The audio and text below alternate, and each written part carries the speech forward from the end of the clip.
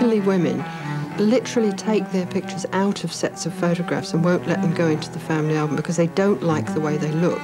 That's all they don't like about it. They have become an image, and they would rather destroy the image and therefore become absent from the event than put in an image that actually isn't quite what they want it to be.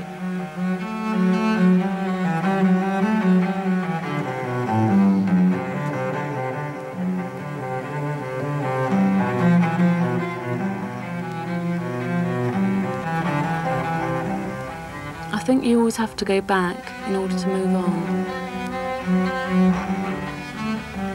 I carried a photograph around with me in my bag for a long time and I showed it to people. And they were quite shocked, I think. It's quite normal to show a picture of your live baby, but I think a lot of people were quite shocked to see a photograph of your dead baby. I don't think there's any particular point in your life that, that is unacceptable to be photographed. Um, and again, it, it, that thing comes in where by photographing it, it means you are an acceptable person in whatever state you're in. Being British, we're very puritanical um, about nakedness and about sexuality and about our bodies. The family album manages to, to straitjacket us because we have a limited sense of ourselves, because we have um, a very sparse imagery of ourselves. And if we start to open up the range of images we have of ourselves in the family album, then we start to redefine our sense of self, sense of family. It's very different to take a, um, a photograph of a dead baby um, rather than a live baby. It's quite shocking to a lot of people. Jeanette Briley, who works at St Mary's Hospital, when she first came there, would go to the mortuary and take babies out, dress them, and take photographs of them. As she said, a lot of people were very shocked when she did this. But they soon came to realize that that's, the parents were eternally grateful to her doing that. you never get over it as such. It's always with you. But somehow you come to terms with it and you use your photographs to come to terms with it. Many women were told when the baby died, forget about it, go home, have another baby. That's the end of it. And were never allowed to talk about it, even uh, within their own family. And I think for that reason, could, could never ever come to terms with the fact that they, that baby had died. About a week after she died, I remember thinking, I really must see her face again. And that's when I started looking at the photographs. Um, and I suppose I looked at them, you know, every day that's the, my eldest daughter, Mavanui, who was four at the time. And she, she was so, she didn't cry, but she was obviously very, very sad. I had been waiting for this baby for a long time, been very excited about it. And she just wanted to hold her all the time and cuddle her. So that photograph very, means a lot to me. if someone came to the house, I would show them the photographs. It was a way of talking about her. It was a way of breaking down the barrier. Because death is a, a rather a taboo in our society, and, and we don't like to talk about dead people. But a photograph helps you to to break those barriers. I think I think it's my, my philosophical fight against passage of time. Uh, if you photograph something, you are what I call you are freezing time. I have this anguish of uh, feeling that time is escaping from my hands. Right, I'm going from from birth to to to death, and uh, I, I can't accept that. Well, death is something that uh, well, we don't understand death, or I don't understand death, and uh, I don't accept it. So it's something it's although it's out of my control, but I, I can't accept it. I I have I've realized that many of my photographs are related to to control time, right? To keep something that pleased me, or a person, or a place, or a period that uh, I liked. I want, I, want, I want to freeze that.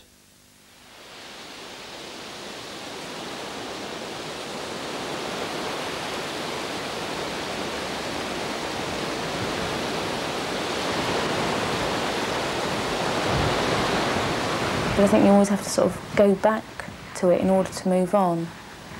Because you can't just forget, you can't just suppress something, otherwise it's going to come up in a different form.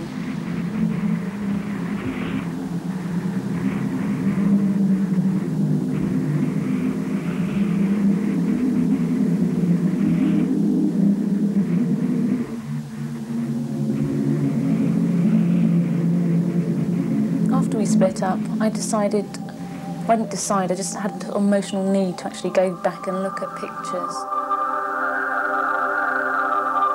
Images that hadn't been important to me before all of a sudden became important because they started to tell me things that I hadn't realised. In one of them, he actually has his back turned to me, which I think is what he was most probably doing the whole year. And secondly, the picture's quite interesting because there's a couple in the background with um, a baby. They, it seems very significant the fact that when Chris left, he went off to live with somebody who already had, an, already had a child. If I hadn't had those photographs, it would have like been as though the past hadn't existed really, as though it had been totally eradicated or sort of airbrushed out. The photographs were actually proof that our relationship had existed, that certain things had happened, that we had been on holiday together, um, that we had kissed at certain times. They were like a touchstone, um, a contact with the past, a sort of memory. when you have something like the Holocaust that happens, you, it's very difficult to comprehend that people actually existed and then they didn't exist. And this shows me that they did, that there, there was something before my mother. And also, sometimes I do touch the photos a lot and think about the connection I have with them. And sometimes fleetingly, I find myself thinking that maybe the awful things that I think happened to them didn't. Well, like this one, which is of my grandmother and her elder sister and her father. And sometimes I just look at that and I guess also think about knowing what was in store for them because I think they had no idea at that particular time what was what was going to happen for the Jews. And it was never talked about at home. We weren't allowed to ask questions. If anything came on the television, the telly was turned off. I don't think I had any understanding then of how deep the oppression had gone and how deep the self-hatred was. And this went on through my university years. That if people would have asked me what my identity was, I would have been hard pushed to say I was a woman, you know, let alone anything else. But as for Jew, I guess I just learnt because of the anti-Semitism that it wasn't safe to be Jewish. So I bleached my hair at the first possible opportunity. And I learnt German as one of my major subjects at school. And I learnt it very easily. And I became very fluent in it. And people used to say to me when I used to go to Germany, they, they didn't know that I wasn't German. And I was very pleased about that. I felt that it's this whole notion, false notion, that you can pass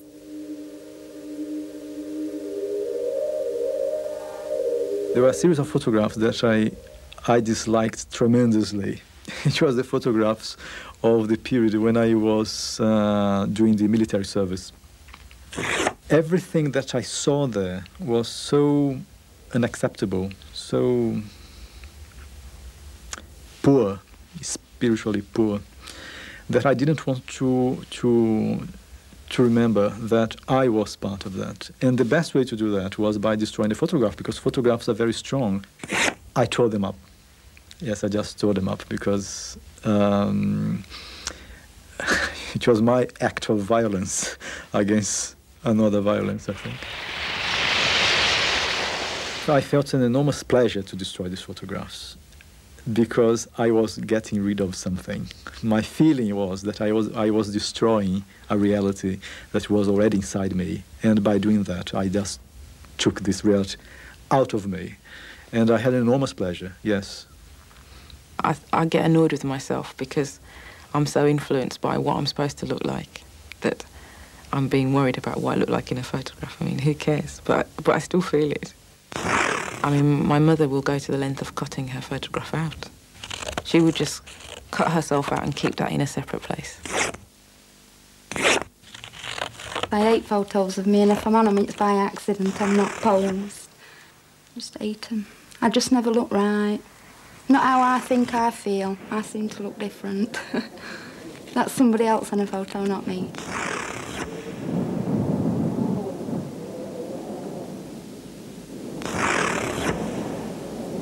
I think the image that you have of yourself very rarely comes out. In photographs of yourself, you're always slightly disappointed, or not so much disappointed, but dissatisfied. You know, everybody has the, the yearning to be immortalized perfectly. Um, speaking now as a woman, I, I would say that I've been taught that my femininity has to be ideal. So, what I'm looking for when I look through images of myself is this as good as I can get my act together self. Because I know that there is no ideal self in that sense. I cannot get that act together. So, what there is is a slippage between the, the narcissism that's created through the images thrown at me and my feeling of shame that I can never live up to them, and my discontent with myself, not with the images, discontent with myself. And the older I get, the more that becomes irrelevant. And I mean, I've seen women pushing that down and down and down, and in the end, all it means is lipstick or earrings or something. But there has to be some kind of control that's linked to that earlier desire. It's only if one has an ideal self that you're going to be loved or valued in this culture. That's what seems to be happening with the kind of images and stories that come at us.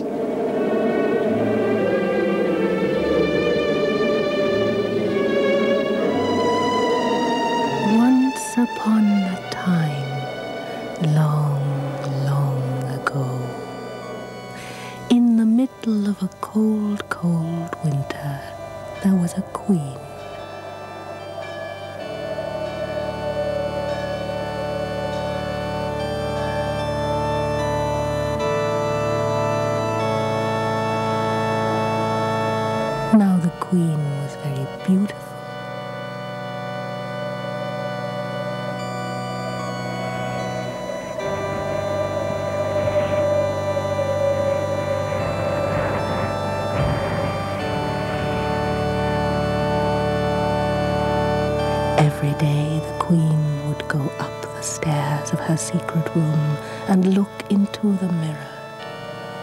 And she would ask this question. Mirror, mirror on the wall, who is the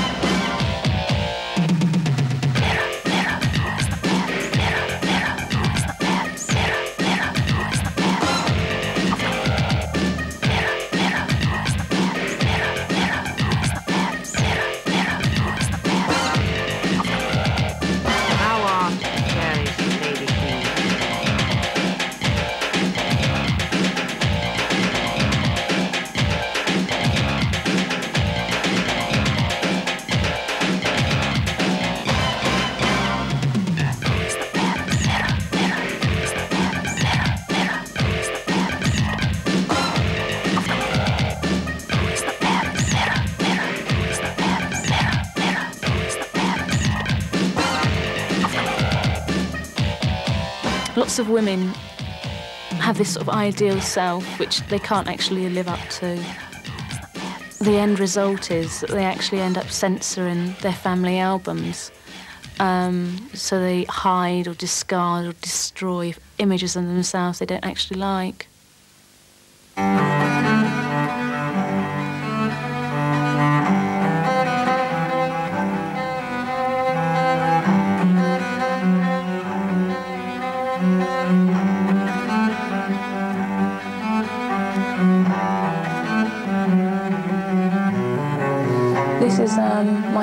Called A Lover's Distance, which grew out of Chris and I, our relationship splitting up. It was a way of speaking to Chris. I don't think I thought he'd ever listen to me. I think my suicide had been an attempt to say the sort of loudest scream that I made. And then when he didn't even listen to that, I thought, right, I'm going to do a piece of work about it. You're going to have to listen to that.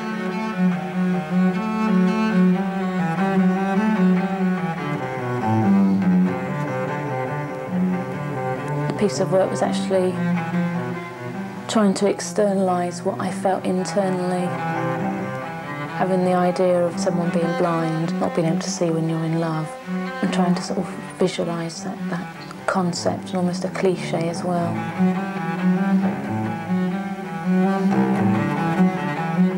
And this was an image of Chris as a victim. And it was also not just to do with me murdering him literally after having dreams about doing it. It was quite nice to sort of actually stage it. But apart from that, it was also trying to reverse the roles so that rather than me trying to kill myself and internalising it and not becoming angry, just taking it in on myself, I was actually externalising it and trying to murder him. I don't feel as I want to kill him anymore. I don't feel that strongly about him, thank God.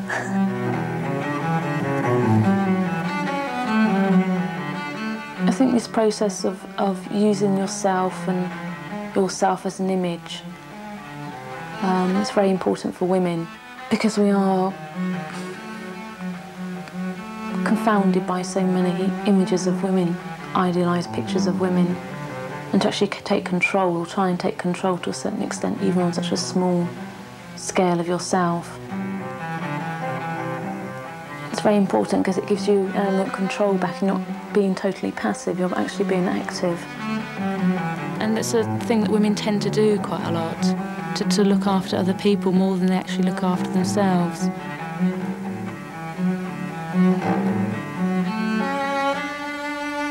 When I, when I was working on the photographs, um, people people accused me of narcissism, and um, and I didn't really see it as that. I saw it as a form of of self-love and of repairing the cuts and, and, the damage that I thought had been done.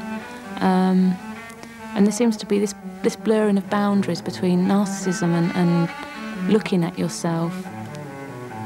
I saw it as a very political act, in the sense that to do anything that, that involves change, um, you have to start by changing yourself and then move out from that. It is self-indulgent narcissism, but it ought to be celebrated as, as such, rather than being condemned.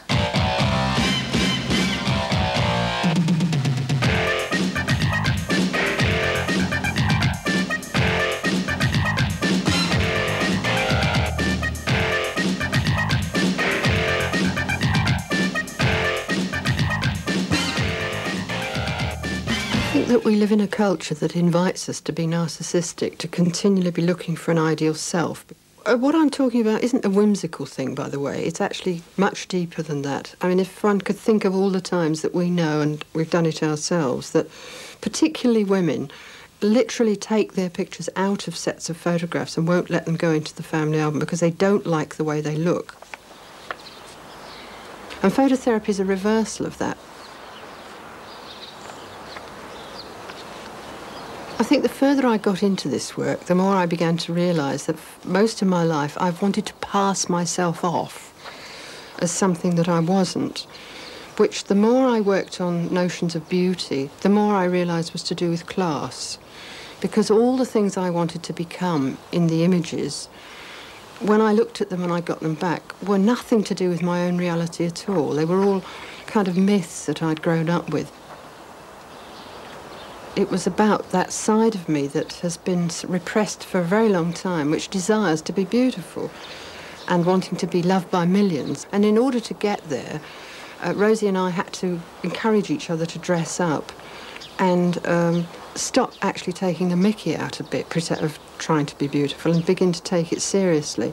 So we had, we had a lot of fun just playing about with clothes and props and makeup.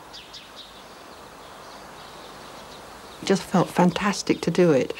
And here I was at the end of this great performance, taking my, taking my bow with the flowers in my hand. And it was very difficult to keep a straight face, but I finally got into it. And I, I mean, it was just beautiful to be, to be able to play freely and do it and not have to keep all these voices in my head saying, don't do that, that's definitely not an okay thing to do.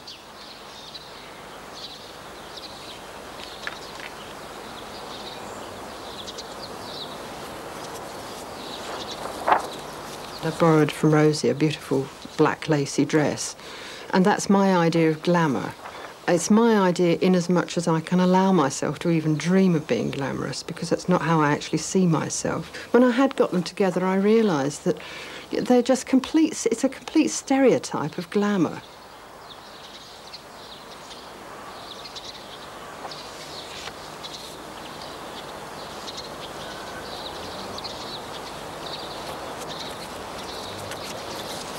So the, the next set of pictures is really about the problem of how I would really like to have been glamorous as a young woman. I knew how to stand, I knew how to display myself for the camera, but in fact that isn't how I live my life. So what I did was to create this image, which is what I call my Rita Hayworth, as best as I can do it act. But of course it isn't good enough. But actually, I'm so traumatized by what that might bring me that I couldn't actually do it. So the second shot, which is this one, is much more about how I felt inside my head while I was trying to do that. And when I put the two together, I mean, I have an incredible movement across the two of feelings of longing and desire on the one hand and fear and uh, being found out on the other hand that I'm not going to deliver the goods because in my when I was a young woman, you know, there's no way I was going to deliver anything. I just wanted to be admired for how I looked. But in fact, I, that isn't how I live my life. You know, that you know, I was the girl next door. I was Doris Day, I'm afraid. Oh, I, I love that picture. I absolutely love it. It's my all-time favourite. That's working on um, my sexuality. And I was appalled at the only two images I could come up with was this one, which is what I call my Hollywood Virgin Bride scenario, which is the whole, you know, the full of promise, but nothing's going to happen afterwards. This one is uh, another matter than the other one. This is what I call working on grief, inner grief, and it's the grief of never having had a child, never delivered the goods, never been a good girl for my parents. And it's a, it's a grief that's put upon me from outside. Playing is a, you know, it's a phenomenal thing that happens when you play, that you play something out until you don't need it anymore. So going into phototherapy is a reversal back into play and saying, now, how can I reinvent myself out of this very limited range of possibilities?